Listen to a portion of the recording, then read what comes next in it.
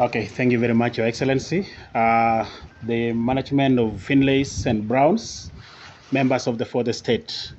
I want to say that uh, as an immediate uh, community member of Finlays, which is under the sale now in terms of shares, we have had a very rigorous discussion at the office of the governor today, this morning, and we have had a raft of issues that has been said, that has been reiterated by His Excellency the governor.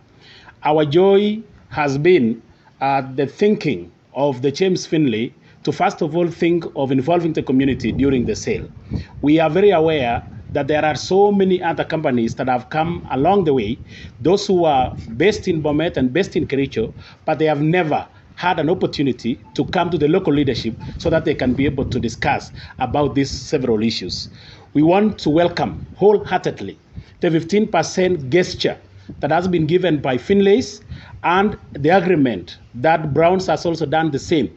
So that at the end of the day, we want to believe that day by day we are going to own it fully with time. I want to believe that the 15% that has been given now, the 10% that was given earlier, Browns as also they take over and as they also may, may think one day of giving out the, the sale they will be able to consider another 50% to the community.